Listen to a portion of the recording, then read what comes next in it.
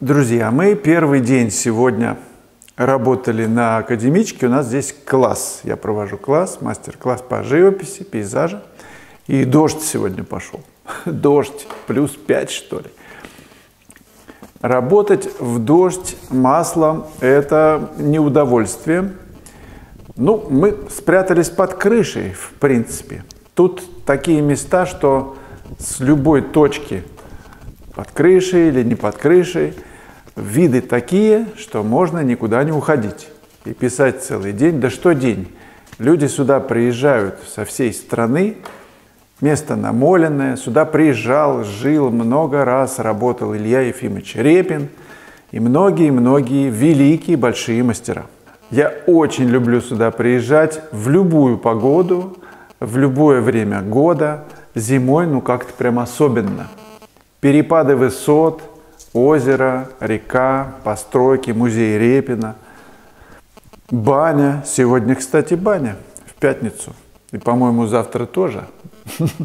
Ради бани стоит приехать. Приезжайте. Те, кто не успел приехать, опоздал. Вижу по лицам, что все работают с удовольствием, энтузиазм большой. Ну, место такое. Что пьете? Чай. Горячий. Просто Чай. По глазам вижу, что нет. Нет, это отголоски новогодние. А вы здесь Это все с Нового года сейчас. А похмелье? Новогодние даже. Очень комфортно. Номера, мастерская. Ну, правда, душ, конечно, такой из времен, я не знаю, Ильи Ефимовича Репина. Очень хочется надеяться, что найдутся средства, чтобы это привести в порядок. Но в этом тоже есть какой-то кайф. Ощутить первозданность бытия. Ради этих мест стоит э, окун... А, кстати, может быть, даже есть такие специальные туры. Там, где душ совковый, там, где полы такие вот, все, ну, свежо в мастерской. Но зато пластиковые окна, наконец-то, не так давно, по-моему, поставлены. Ну, уже года два-три они, по-моему, есть. Завтра обещает подморозить, так что мы пойдем, спустимся туда, к озеру, к баньке. Там прекрасные виды, будут новые репортажи, новые этюды. Свежие вопросы мне пришли. А что, если не нравится, не понравился темный фон на натюрморте? Ситникова спрашивает, как его можно переделать на светлый? Я за то, чтобы писать с натуры. Потому что натура, даже если вы пишете изнутри, мы всегда пишем изнутри, натура подсказывает – отношения тональные между какими-то предметами, даже если они не попадают буквально, вот не надо буквально списывать то, что вы видите, но вы же видите эти предметы, как они друг к другу относятся по тону, по среднему тону. Берите.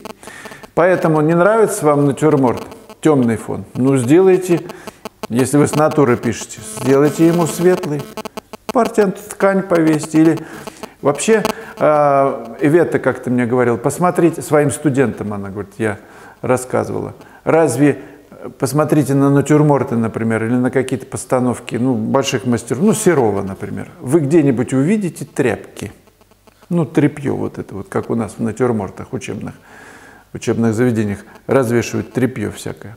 Нет, среда. Просто окуните этот натюрморт в светлую среду. И вы увидите богатство тональных отношений, ну в любом помещении это можно сделать, на улице, я не знаю, но в помещении, скорее всего, вы пишете. Поверните чуть-чуть в другую сторону, посмотрите, что за ним. Смотрите в расфокусе и берите богатство тональных отношений, выстраивайте эти связи и меняйте темный фон на светлый. Мне кажется, так. Что думаете, друзья, на этот счет? Ольга Д. Слава, хотелось бы поговорить о подписи работы. Расскажите, какими принципами руководствуетесь, когда ставите подпись? Где уместнее ее разместить? Ну, композиционно, смотрите, в каком углу она так... Это же часть композиции. Цвет.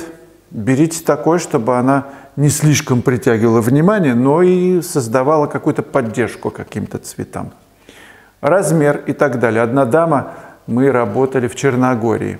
Наталья ее зовут, не буду называть фамилию, я и не вспомню, это было давно. И она писала, значит, работу, ну, работа-то, я не знаю, 30 на 40, да, написала, и подпись сделала в пол картины. Ну вот я подошел, говорю, Наташа, ну вот посмотри, Мерседес, например, маленький шильдик или какой-нибудь Honda. То есть фирма любит скромность. Чем круче художник, тем скромнее подпись, потому что качество – это качество дизайна, ходовые части автомобиля. Так и здесь. Качество живописи важнее, чем в подпись на картине. Ну, чуть-чуть там где-нибудь в уголке. Я придумал букву К, К. Первое начальное слово моей, буквы моей фамилии. Буквочку К красненькую, там такая стилизованная. Ставлю. Кстати, хорошая идея, можете из линолеум ножом вырезать прям такой вот трафаретик и печать такую. А можно заказать, мне кажется, печать. То есть нарисуйте какую-то залихватскую, да, а, и наберите в интернете, как сделать печать из нее. Там они вытравят и сделают вам печать, и будет квадратненькая какая-нибудь. А там в этой подписи вы можете уж как сделать, можно такую красивую сделать подпись. Мне такая идея пришла, мне кажется, это надо сделать. Ну и проработайте дизайн подписи. Посмотрите э, разные подписи у художников больших. Сальвадор Дали. Посмотрите, какая элегантность. То есть это же тоже часть работы. Маленькая, но часть важная часть. Так что успехов! Вячеслав купила ваши уроки, и вопрос, достаточно ли набора красок, чтобы начать. Ну, Цорн писал четырьмя красками. Черный, кость, наверное, жженая, охра, красная, типа киноври, я не помню мудреное название, и белила. Все. И посмотрите, какие достигал цвета, какие растяжки цвета из этих четырех. Конечно, достаточно а набор это же целых 12 цветов. Я предпочитаю работать все-таки э, тюбиками красками не из набора, потому что там богатство э, цветов, они дают очень сложные оттенки. Но начать можно вот с этих 12. Единственное, купите белил, просто большой какой-нибудь хороший тюбик белил. Я пишу титановыми белилами. Кто-то пишет э, и титановыми, и цинковыми, потому что цинковые они жиже у мастер-класса, у других производителей наоборот. И э, жидкая, это значит такая, она лессировочная краска, более прозрачная. А когда нужно на, набрать такую вот фактуру, то я беру... Я вообще титановым пишу, потому что если мне нужно жидко прокрасить, я просто окуну в растворитель, замешу пожиже и прокрою. Так что успехов! User 14ZZ, понимаешь ли, популярная сейчас буква, малярным большим шпателем накидать еще быстрее, живее и живописнее вышло бы. Это такой подколка такая, ну, к работе одной бато. Ну да, кстати, шпателем большим. Вот у меня, например, мастихин. О, мастерок такой. И э, ведь не важно, чем вы пишете. И, кстати, тот же Бато как-то брал прям малярный, не то что шпатель, а валик большой, огромный, и им пытался писать. Ну, не пытался, а писал. Это же тоже новый инструмент, который тебя... Если есть мышление такое верное, нам, путь, ну, дорога, по которой ты идешь, но ты же пройдешь и на лыжах, я не знаю, и на ходулях, и на велосипеде по этой дороге пройти. Ты не свернешь с этого пути, если он у тебя в мозгах есть. Если его нет, конечно, будут подколки типа вашу. Если это подколка, извините. Если нет, то ну что ж, тогда нормально. Может быть, это действительно вы так предлагаете шпатель, но он так и делает. Э, важно, обрети, э, важно обрести мышление, видение – и тогда вот э, перед тобой огромные возможности на этой, на этой дороге, на этом пути. Ты можешь свернуть, туда заглянуть, там цветы порвать, там ручей, воды из ручейка попить. Но ты вернешься на эту дорогу и продолжишь путь. Ты не, не заблудишься там, не останешься, не залюбуешься. А, какая тут красота.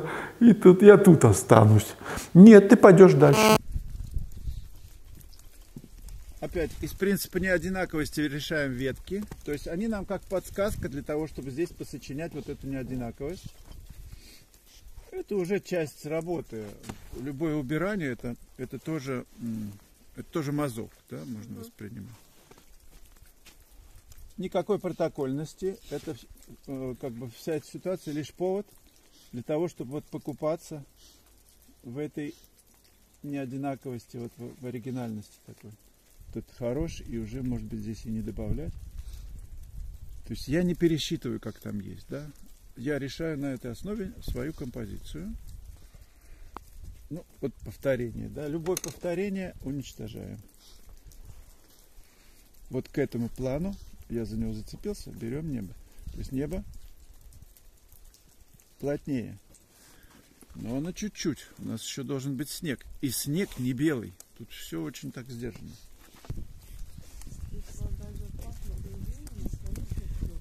Ну вот я это вижу, что есть некая теплота по отношению к этому. Да вот она через холод, Наташа, смотри. У меня здесь холод есть. Вот.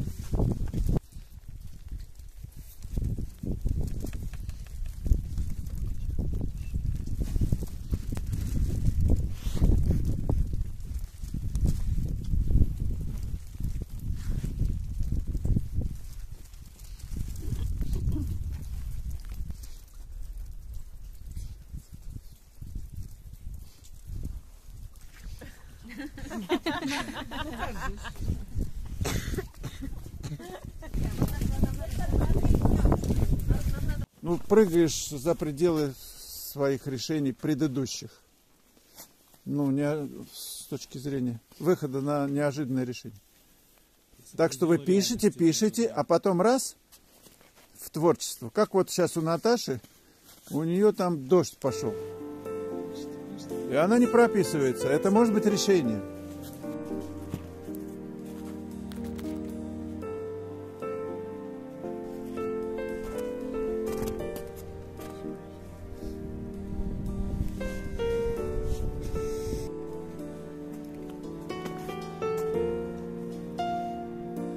Как краски называются? Краски по ткани и по керамике. Краски по ткани. по кера- А можно спиной повернуться, дама? Гениально. Да подождите, вот я не успеваю.